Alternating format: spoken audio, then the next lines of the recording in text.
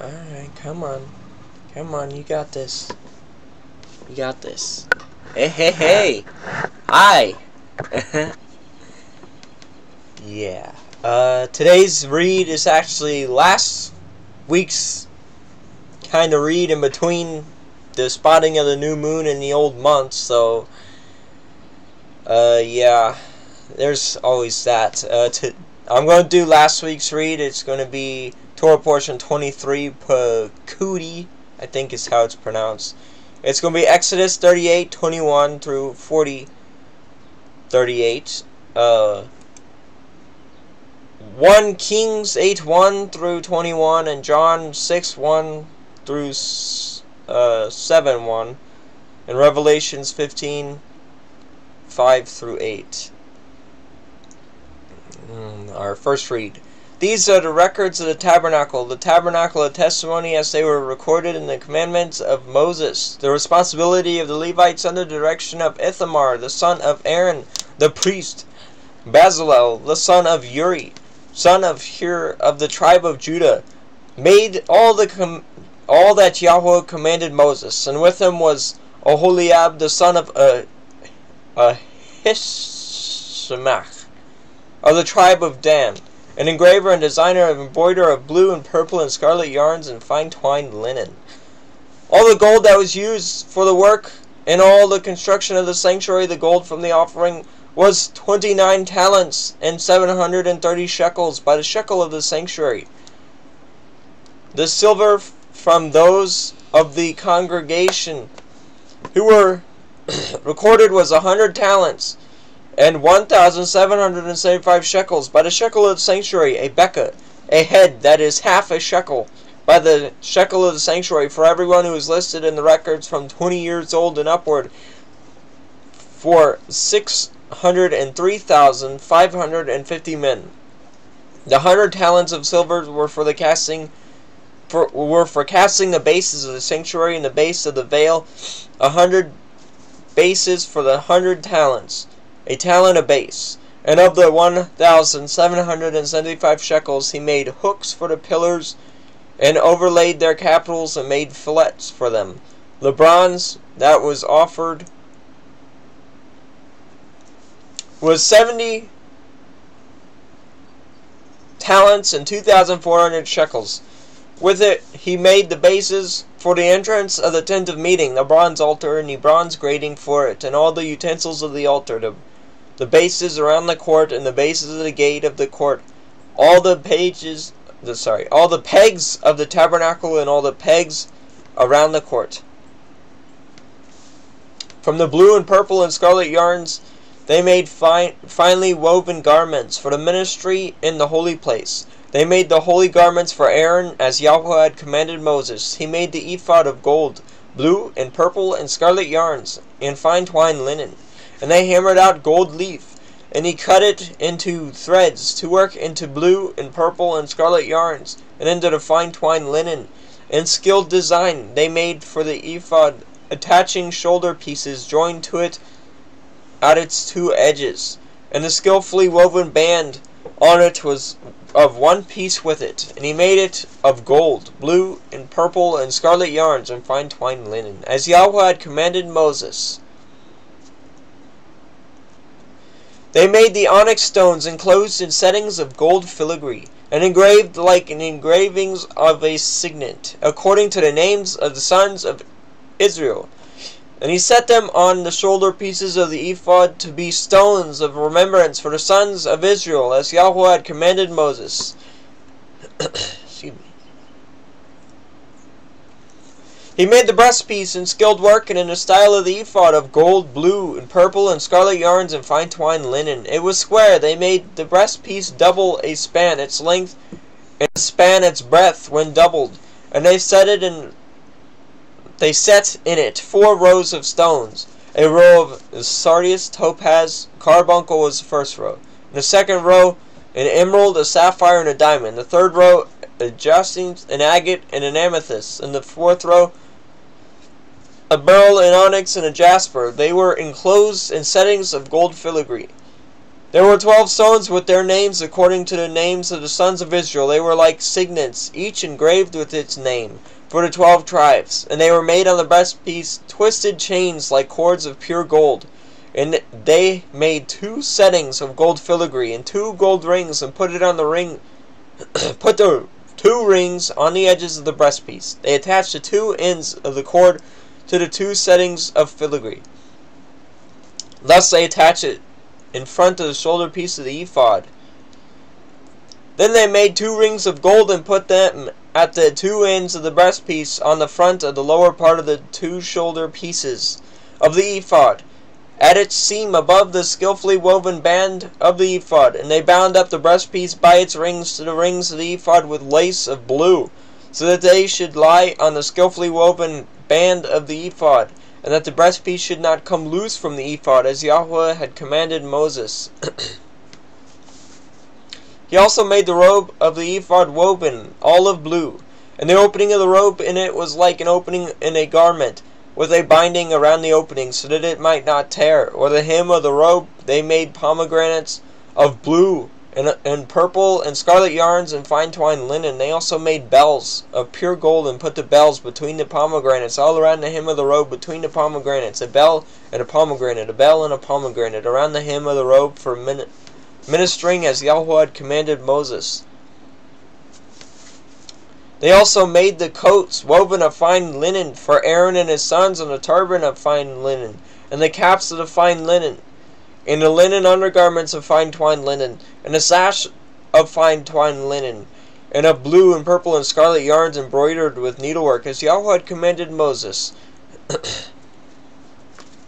they made the plate of the holy crown of pure gold, and wrote on it an inscription like the engraving of a signet, holy to Yahweh, and they tied it they tied to it a cord of blue to fasten it on the turban above as Yahweh had commanded Moses. Thus all the work of the tabernacle of the tent of meeting was finished, and the people of Israel did according to all that Yahweh had commanded Moses, so they did. Then they brought the tabernacle to Moses, the tent and all its utensils, its hooks, its frames, its bars, its pillars, and its bases, the covering of the tenor of the, uh, the covering of ten tan ram skins and goat skins, the veil of the screen, the ark of the testimony with its poles and its mercy seat, the table with all its utensils, and the bread of the presence, the lampstand of pure gold, and its lamps with it, its lamps with the lamps set, and all its utensils for the oil of the light. Excuse me. The golden altar, the anointing oil, and the fragrant incense, and the screen for the entrance of the tent. The bronze altar and its grating of bronze, its poles and all its utensils, the basin and its stands, the hangings of the court, its pillars, its bases, and the screen for the gate of the courts its cords, its pegs, and all the utensils for the service of the tabernacle, for the tent of meeting, the fine twine, sorry, the finely worked garments for ministering in the holy place, the holy garments for Aaron the priest, and the garments of his son, of his sons for their service as priests, according to all that Yahweh had commanded Moses. So the people of Israel had done all the work. And Moses saw that saw all the work, and behold, they had done it as Yahweh had commanded. So had they done it. Then Moses blessed them. Yahweh spoke to Moses, saying, On the first day of the first month you shall erect the tabernacle of the tent of meeting, and you shall put in it the ark of the testimony, and you shall screen the ark with a veil. And you shall bring in the table and arrange it, and you shall bring in the lampstand and set up its lamps, and you shall put the golden altar for the incense before the ark of the testimony, and set up the screen for the door of the tabernacle, and you shall set the altar of burnt offering before the door of the tabernacle of the tent of meeting, and place the basin between the tent of the meeting and the altar, and put water in it. And you shall set up the court all around, and hang up the screen for the gate of the court. Then you shall take the anointing oil and anoint the tabernacle and all that is in it, and consecrate it and all its furnishing furniture, so that it may become holy.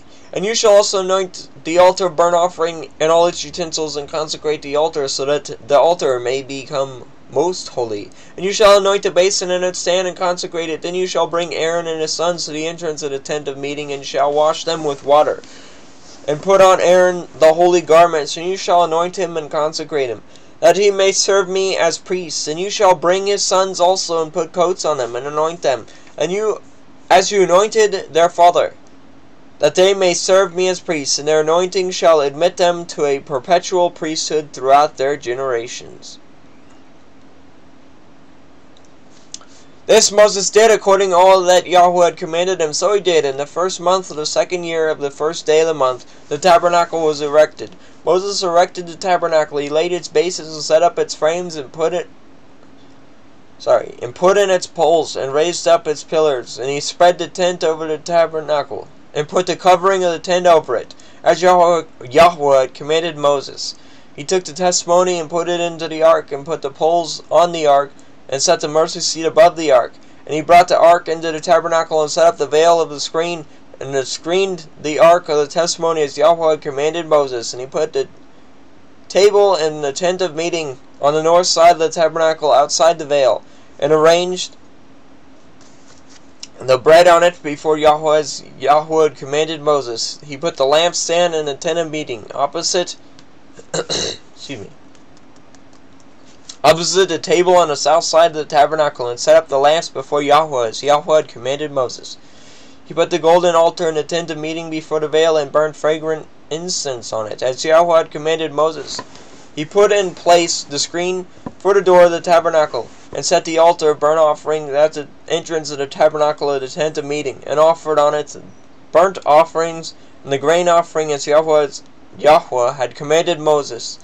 He set the basin between the tent of meeting and the altar, and put water in it for washing, with which Moses and Aaron and his sons washed their hands and their feet when they went into the tent of meeting, and when they approached the altar, they washed as Yahweh commanded Moses. And erected the court out around the tabernacle in the altar, and set up the screen of the gate of the court. So Moses finished the work. Then the cloud covered the tent of the meeting, and the glory of Yahweh filled the tabernacle, and Moses was not able to enter the tent of meeting because the cloud settled on it. And the glory, glory of Yahweh filled the tabernacle. Throughout all their journeys, whenever the cloud was taken up from the tabernacle, the people of Israel would set out. But if the cloud was not taken up, they did not set out till the day that it was taken up. For the cloud of Yahweh was on the tabernacle day tabernacle by day, and fire was in it by night, in the sight of all the house of Israel throughout all their journeys.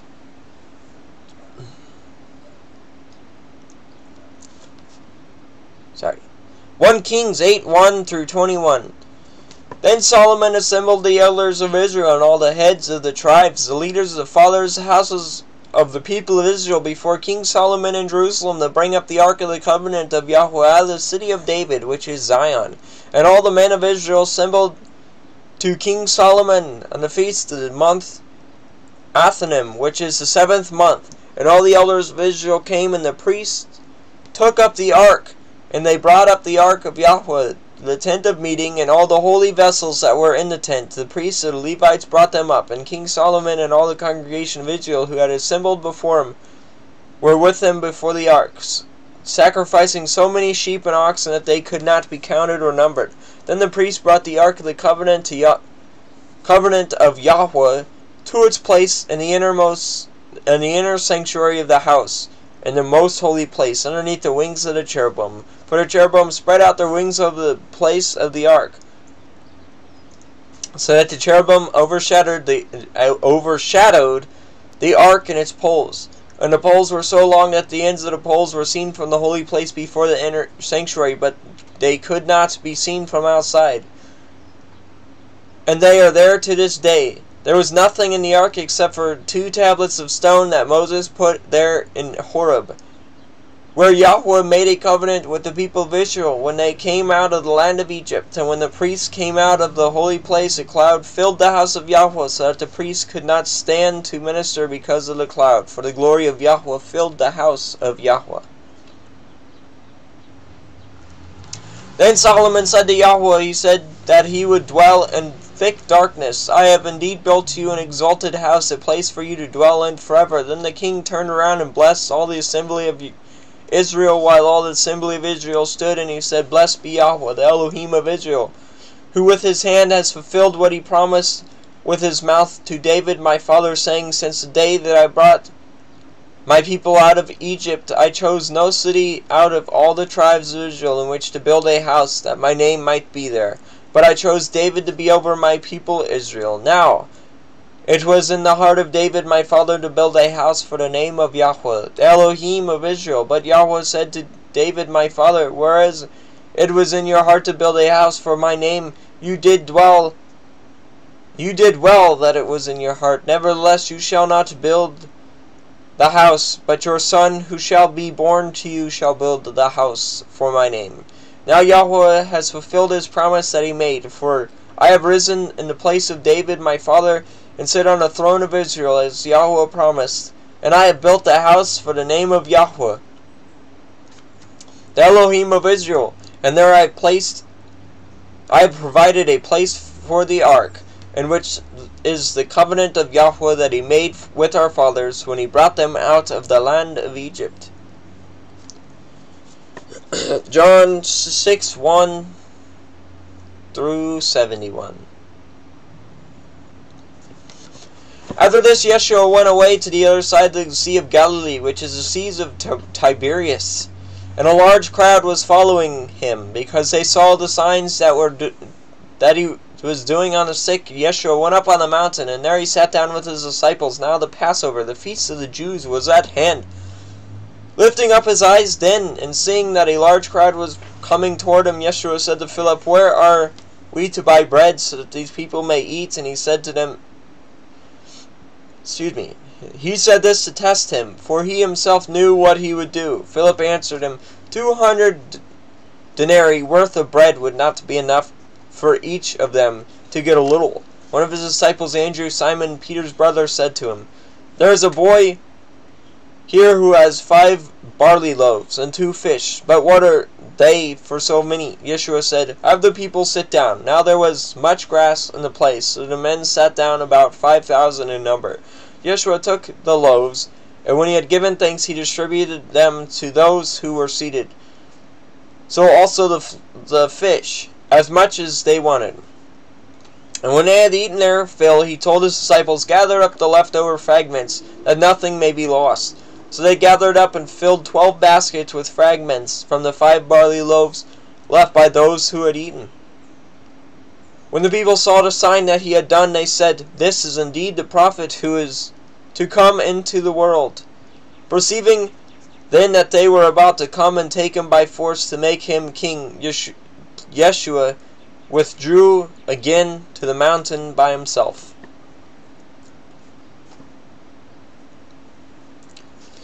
When evening came, his disciples went down to the sea, got into a boat, and started across the sea to Capernaum. It was now dark, and Yeshua had not yet come to them. The sea became rough because a strong wind was blowing. When they had rowed about three or four miles, they saw Yeshua walking on the sea, coming near the boat. And they were frightened, but he said to them, It is I, do not be afraid. Then they were glad to take him into the boat, and immediately the boat was at land to which they were going. On the next day, the crowd that remained on the other side of the sea saw that there had been only one boat there, and that Yeshua had not entered the boat with his disciples, but that his, but that his disciples had gone away alone. Other boats from Tiberias came near the place where they had eaten the bread after the Lord had given thanks. And when they when the crowd saw that Yeshua was not there, nor his disciples, they, they themselves got into the boats and went to Capernaum seeking Yeshua.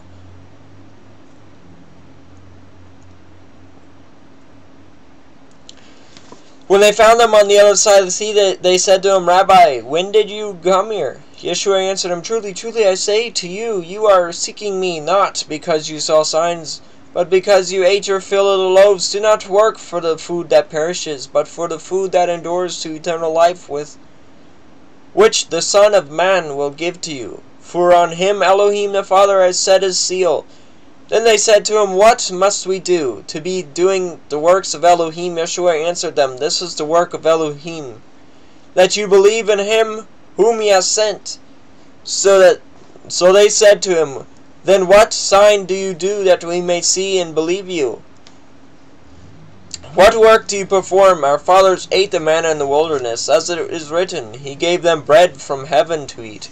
Yeshua then said to them, Truly, truly, I say to you, it is not Moses who gave you the bread from heaven, but my Father gives you the true bread from heaven. For the bread of Elohim is he who comes down from heaven and gives life to the world. They said to him, Sir, give us his bread always. Yeshua said to them, I am the bread of life. Whoever comes to me shall not hunger, and whoever believes in me shall never thirst. But I said to you, I said to you that you have seen me, and yet do not believe. All that the Father gives me will come to me, and whoever comes to me I will never cast out, for I have come down from heaven, nor to do my own will, not to do my own will, but the will of him who sent me. And this is the will of him who sent me, that I should lose nothing of all that has been given me, but raise it up on the last day. For this is the will of my Father, that who, everyone who looks to, on the Son and believes in him should have eternal life, and I will raise him up on the last day. So the Jews grumbled about him, because he said, I am the bread that came down from heaven. They said, It is is not this Yeshua the son of Joseph, the father and mother we know? How does he how does he now say, I have come down from the heaven from heaven? Yeshua answered them, Do not grumble among yourselves, no one can come to me unless the Father who sent me draws him, and I will raise him up on the last day. It is written in the prophets, and they will all be taught by Elohim. Everyone who has heard and learned from the Father comes to me. Not that anyone who sees the Father except he who is from Elohim. He has seen the Father. Truly, truly, I say to you, whoever believes has eternal life. I am the bread of life. Your father ate the manna in the wilderness, and they died. This is the bread that comes down from heaven, so that so that one may eat of it and not die. I am the living bread that came down from heaven. If anyone eats of this bread, he will live forever. And the bread that I will give for the life of the world is my flesh.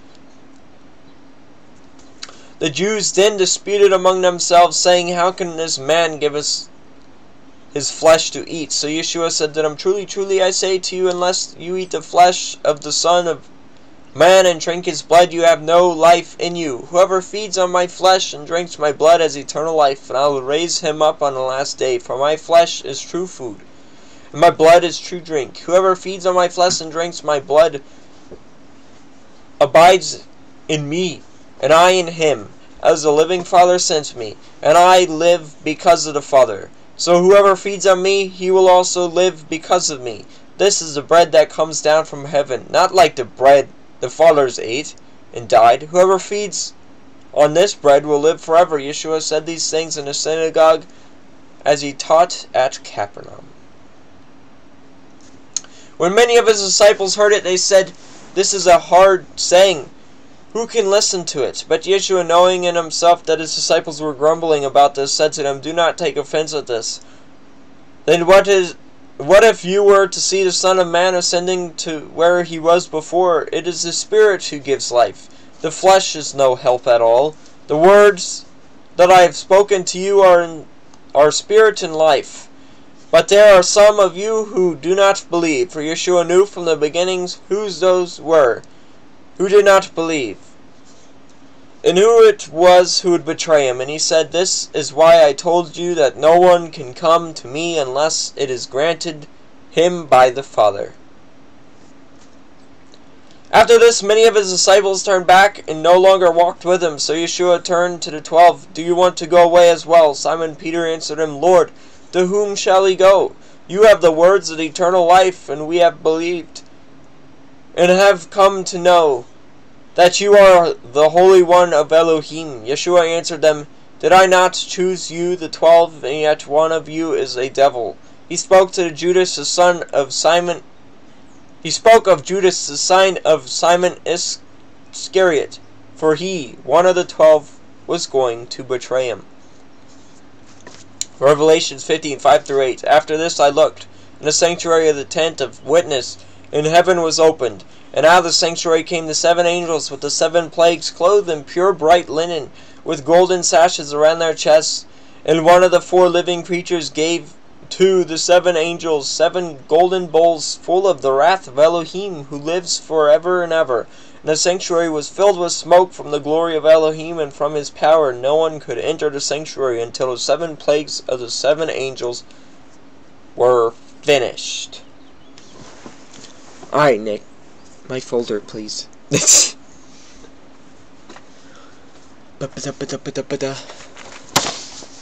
Uh, sorry guys, I didn't say my beginning blessing. Uh, it's a little late now. I'm at the ending. Blessed art thou, Adonai Elohim, King of the universe, who gives the Torah of truth and everlasting life in our midst. Blessed art thou, Adonai, giver the Torah. Brukata Adonai Elohim, Malak Alom, Ashanata Lanu, Toredi Met Vaishi, Lom Nata Betakinu, Brukata Adonai Natin HaTorah.